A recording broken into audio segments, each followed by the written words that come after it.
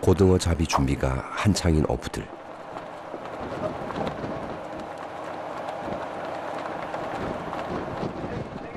그런데 선원 대부분이 외국인이다. 이 직업 같이 좋은 직업이 어디 있어요? 공무원은 몇 살까지입니까? 우리 한 80살까지 타는 사람이 있거든요. 힘든 뱃일을 하려는 이가 갈수록 줄고 있지만 그래도 뱃사람들 많이 누릴 수 있는 호사가 있다.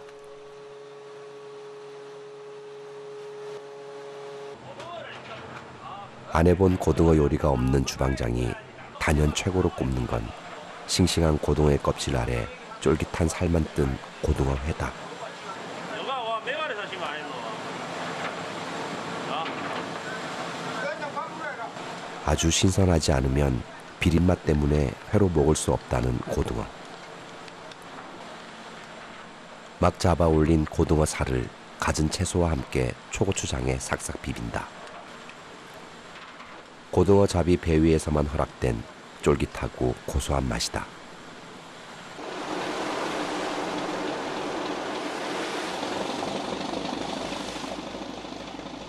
밤이 되고 흩어졌던 고등어들을 다시 모으기 위해 등불을 담배가 불을 밝힌다.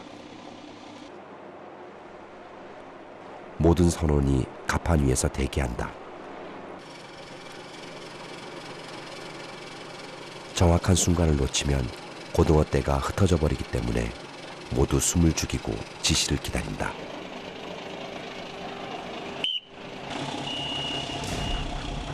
드디어 때가 됐다. 지름 1.5km에 달하는 거대한 그물이 순식간에 바다 밑으로 내려간다. 고등어 떼가 흩어지기 전에 빙 둘러쳐야 한다.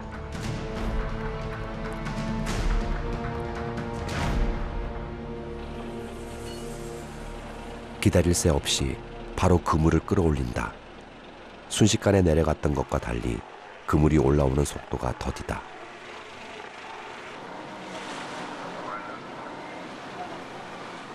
좋은 징조다.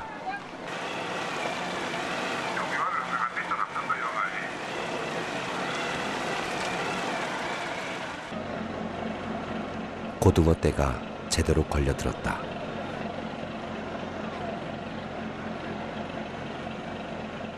해류를 따라 북쪽으로 이동하던 고등어 떼를 제대로 포착한 것이다.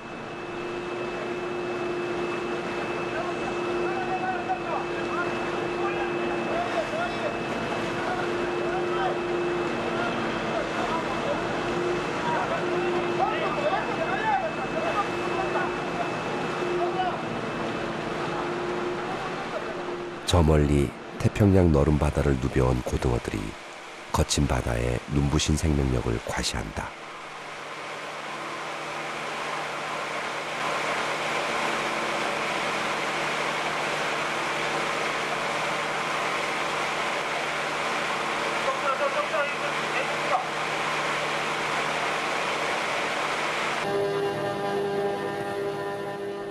굵고 튼실한 고등어들은 스트레스를 받기 전에 바로 퍼담아야만 고등어 맛이 변하지 않는다.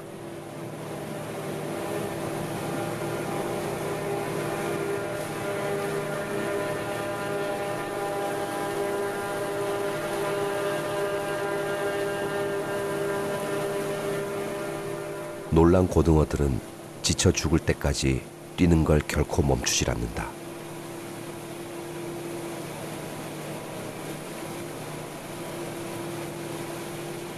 그러나 단체로 튀어오르던 비상의 꿈도 잠시 모두 얼음 창고로 직행한다.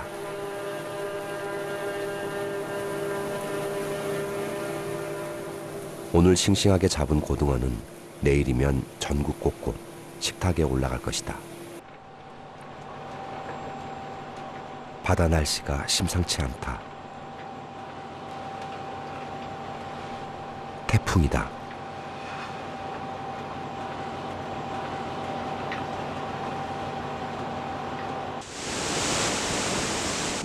해마다 한반도에 영향을 주는 태풍은 대부분 해류를 따라 북상한다. 따뜻한 해류는 태풍의 세력을 키우는 에너지 역할을 하기 때문이다.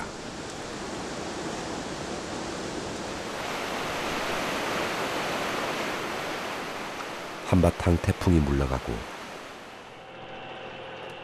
이른 아침부터 정치만 그물을 들어 올리느라 분주하다.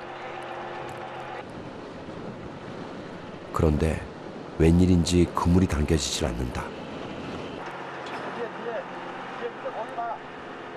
잘 올라오지 않는 그물 웬일일까?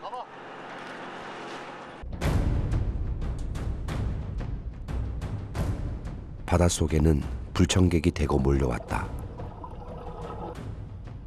태풍과 해류에 밀려온 노무라 입깃 해파리 떼다.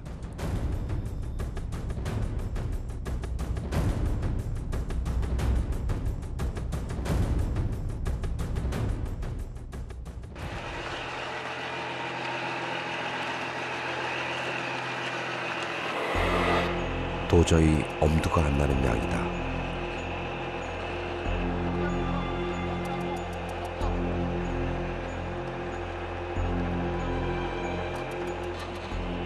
조업은 둘째 치고 이 많은 해파리를 처치하는 게 더 큰 문제가 되었다. 거북이도 꼼짝없이 갇혔다. 해파리는 거북이가 좋아하는 먹이. 하지만 해파리 떼 속에서 오도 가도 못하는 신세가 됐다.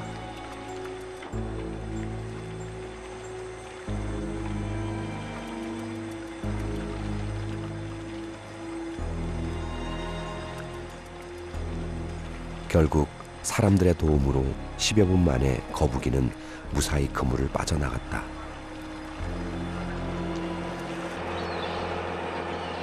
무게가 40kg이 넘는 해파리는 독이 강해서 손으로 들어 올릴 수도 없다.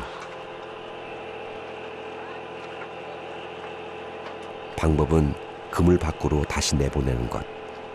어민들은 고기잡이 대신 해파리와 힘겨운 씨름을 한다. 해마다 되풀이되는 전쟁이다.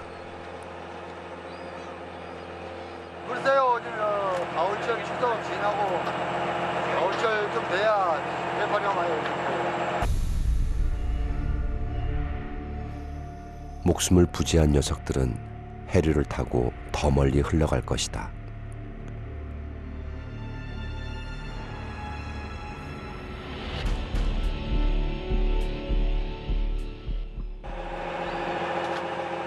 한바탕 전쟁을 치르고 건져 올린 그물에는 죽은 물고기들 뿐이다.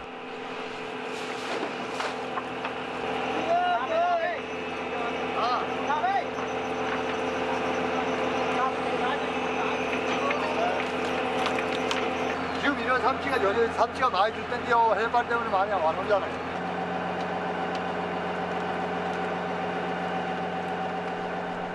인건비는 고사하고 기름값도 안 되는 현실에 어민들의 시름은 더 깊어간다.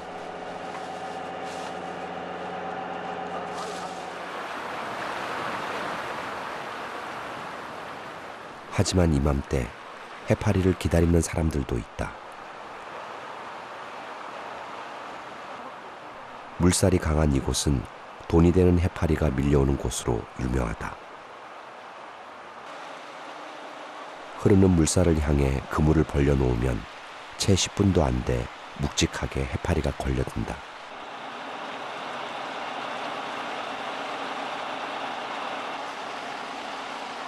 기계가 아니면 감당하기도 힘든 작업이다.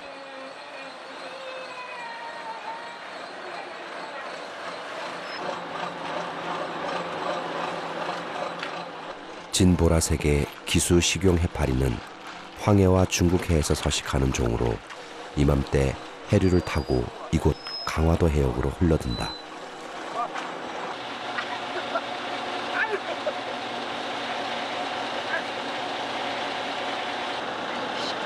이런 건 한 13kg 나가. 내장 아니야 이게 내장. 해가. 다 이거 다 먹어. 특히 이 해파리는 고혈압이나 기관지염에 좋아 귀한 약재나 고급 식재료로 이용되는데 전량 중국으로 수출된다.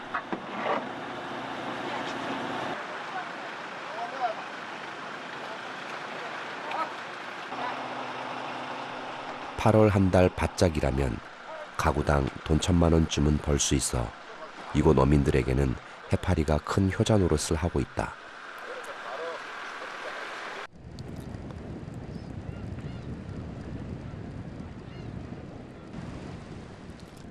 (10월의) 동해 바다 북쪽에서 차가운 해류가 내려오는 시기다. 찬 해류는 바닷속 환경을 한순간에 바꿔놓았다. 차가운 물을 좋아하는 말미잘도 수온이 내려가자 기지개를 켜기 시작한다.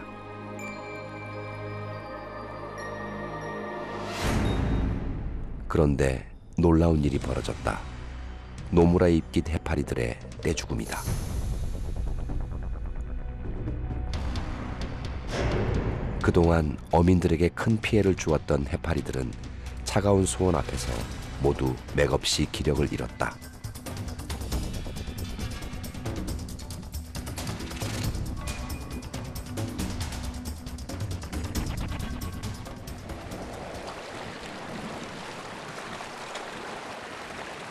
일 년 내내 쿠르시오 해류의 영향을 받는 제주도. 동해 바다와는 사뭇 다른 환경이다.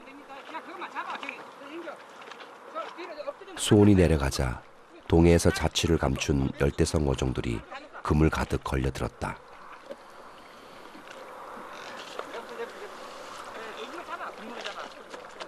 얕은 바다에 정치망을 쳐두고 매일 물고기를 건져 올리는 어부들.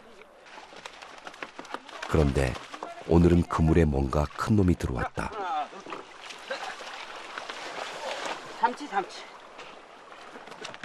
1미터는 좋게 되어 보이는 삼치다.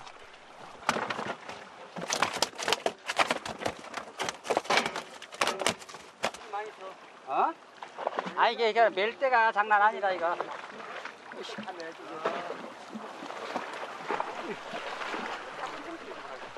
그물이 올라오면서 작은 멸치는 빠져나가고 그물 안에는 잔뜩 살이 오른 정갱이와 고등어가 가득하다.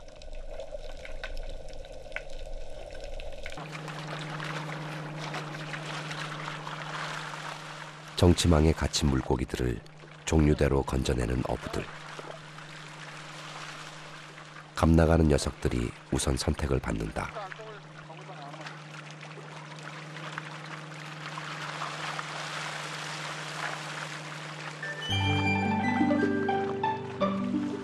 배의 가장 큰 창고를 차지하는 건 정갱이다.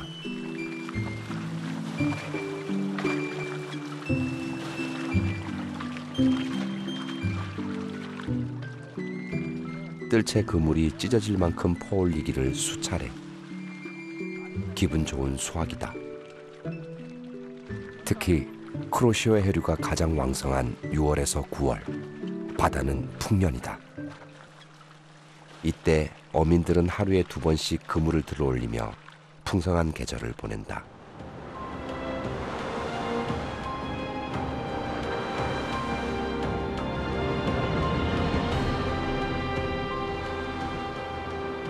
지구 생명체의 80% 이상이 살아가고 있는 바다.